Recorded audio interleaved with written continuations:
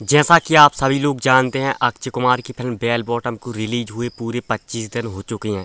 सो दोस्तों, आज के इस वीडियो में हम बात करेंगे बेल बॉटम फ़िल्म के शुरुआती 25 दिनों के world wide box office collection के बारे में और साथ ही साथ आप लोगों को बताएँगे कि इस फ़िल्म ने इंडिया से कितने करोड़ की कमाई कर ली। तो दोस्तों, आप लोग इस वीडियो को शुरू से लेकर लास्ट तक ज़रूर देखना और अगर आप लोग भी बॉलीवुड के खिलाड़ी अक्षय कुमार सर के डायहार्ड फ़ैन है तो इस वीडियो को लाइक और चैनल को सब्सक्राइब कर कर दीजिए, क्योंकि इस चैनल पर बेल बॉटम फ़िल्म का daily box office collection update आप लोगों को मिलती रहेगी। तो दोस्तों, आप लोगों को बता दें, इस फ़िल्म को 19 अगस्त को रिलीज़ किया गया था और उन्नीस अगस्त को था गुरुवार।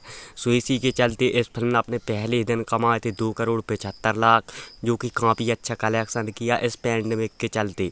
और इस फ़िल्म ने फिर अपने फ़र्स्ट वीक में कमाए उन्नीस करोड़ चालीस लाख।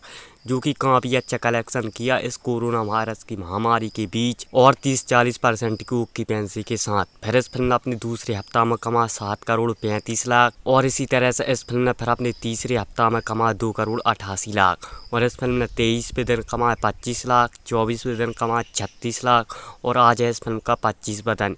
और आज पड़ रहा है रविवार, सो इसी के चलते ये फ़िल्म आज पचास लाख कमा रही है। सो इस फ़िल्म का टोटल 25 दिनों का इंडिया नेट कलेक्शन हो जाता है 30 करोड़ चौहत्तर लाख। और अब तक इस फ़िल्म ने शुरुआती 25 दिनों में इंडिया ग्रोस कलेक्शन कर लिया है सैंतीस करोड़। और अब तक इस फ़िल्म ने ओवरसीज मार्केट से 13 करोड़ 50 लाख की कमाई करी है। जल्दी ही ये फ़िल्म ओवरसीज मार्केट से 15 करोड़ की कमाई करने वाली है। और इस फ़िल्म ने अब तक पच्चीस दिनों का वर्ल्ड वाइड कलेक्शन कर लिया है पचास करोड़ पचास लाख। लेकिन दोस्तों, आप लोग कमेंट कर ज़रूर बताना। अभी अक्षय कुमार सर की जी बेल बॉटम फ़िल्म कितने करोड़ की कमाई और करेगी।